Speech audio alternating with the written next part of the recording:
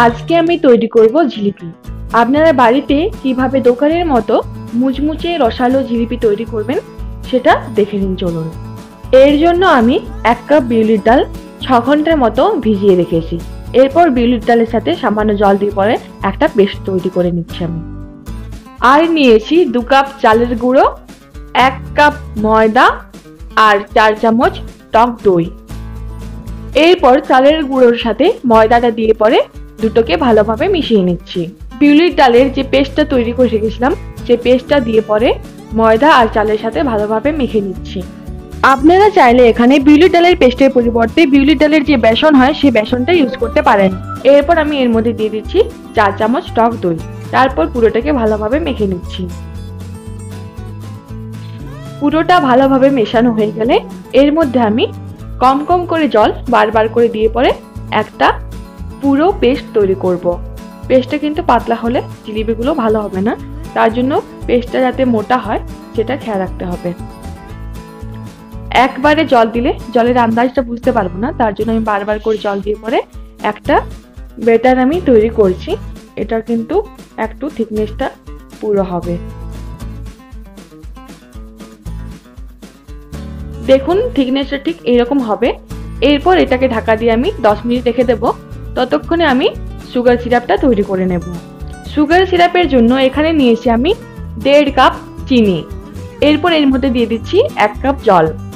দুটো এলাচ একটু ভেঙে নিয়েছি আমি, এটা এর মধ্যে দিয়ে দিচ্ছি। এরপর এটাকে ভালোভাবে মিশিয়ে নিচ্ছি। কিছুক্ষণ ধরে এরকম ভাবে নাড়াচাড়া করে যেতে হবে। মিনিমাম পাঁচ থেকে সাত মিনিট পর্যন্ত এটাকে একটু নাড়াচাড়া করে যেতে হবে। পাঁচ মিনিট পর আমি এটা একটু হাতে নিয়ে দেখিয়ে দিচ্ছি। দেখুন, এটা কিন্তু একটা তারের মতো আসছে। সুতরাং এটা হয়ে গেছে। এরপর আমি গ্যাসটা অফ করে দিচ্ছি। এরপর এর মধ্যে দিয়ে দিচ্ছি হাফ পাতিলেবুর রস। এখানে এক চামচের মতো পাতিলেবুর রস আমি এটার মধ্যে দিয়ে দিলাম। এরপর রসের সাথে এটাকে মিশিয়ে নিচ্ছি। এটা দেওয়ার কারণ হলো, যাতে ঠান্ডা হলেও সুগার সিরাপটা জমাট বেঁধে না যায়। এরপর এটাকে রেখে দিলাম। এদিকে বেটারটা সেট হয়ে গেছে। এরপর বেটারের মধ্যে দিয়ে দিচ্ছি এক চিমটির মতো বেকিং সোডা।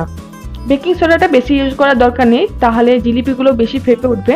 খেতে ভালো হবে না অতটা। এরপর এটাকে মিশিয়ে নিচ্ছি। জিলিপি ছাড়ার জন্য এখানে আমি একটা তেলের প্যাকেট নিয়েছি। আপনারা যে কোনো প্যাকেট ইউজ করতে পারেন মোটা ধরনের। আমুল দুধের যে প্যাকেটগুলো হয় সেই প্যাকেট কিংবা যে কোনো মোটা প্যাকেট, জিলিপির জন্য তৈরি করার পিপিং ব্যাগ থাকলে সেটাও এখানে ব্যবহার করতে পারেন। এরপর এর মধ্যে পুরো বেটারটা আমি দিয়ে দিচ্ছি। এরপর মুখটাকে আমি একটা শক্ত কাটারের সাহায্যে বেঁধে দিচ্ছি, যাতে উপর দিক থেকে বাইরে বেরিয়ে না যেতে পারে।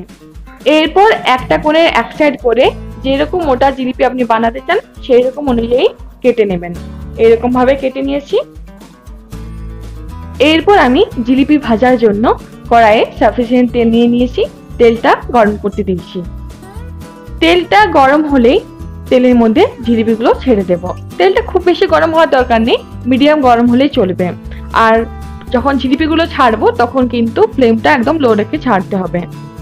এরপর জিলিপিগুলো ছাড়া হলে আমি ফ্লেমটা মিডিয়াম করব। এরপর মিডিয়াম ফ্লেমে জিলিপিগুলো ভালোভাবে ভেজে নেব। আপনারা চাইলে এখানে ফুড কালার ইউজ করতে পারেন। সেক্ষেত্রে আপনারা সুগার সিরাপে কিংবা জিলিপির যে ব্যাটারটা তৈরি করলাম সেই ব্যাটারের মধ্যে এক ফুড কালার ইউজ করতে পারেন। কিন্তু আমি ফুড কালার ছাড়াই এটা করেছি। এরপর এটাকে আমি একটু কড়া করে ভেজে নেব। কড়া করে ভাজলে কিন্তু বেশিক্ষণ ধরে ভালোভাবে মুচমুচে থাকে। দেখুন, জিলিপিগুলো কিন্তু কড়া করে ভাজা হয়ে গেছে আর জিলিপিগুলোর কালারটাও কিন্তু অনেকটা চেঞ্জ এসছে। এরপর আমি এগুলোকে তুলে ডাইরেক্ট সুগার সিরাপের মধ্যে দিয়ে দেব। সুগার সিরাপের মধ্যে এক দিকটা দেড় থেকে দু মিনিট রাখব আর এক দিকটা উল্টে নেব। এরপরে, এরপর আরেক দিকটাও দেড় থেকে দু মিনিট রেখে দেবো। অল্টোটার দুদিকটা মিলে চার মিনিট রাখা হলে এরপর জিলিপিগুলো আমি তুলে নেব। এরকম ভাবে সব জিলিপিগুলো ভেজে পরে ডাইরেক্ট সুগার সিরাপে দিয়ে পরে সুগার সিরাপে তিন থেকে চার মিনিট রেখে পরে তুলে নেব। গরম গরম জিলিপি সার্ভ করার জন্য একদম রেডি হয়ে গেছে।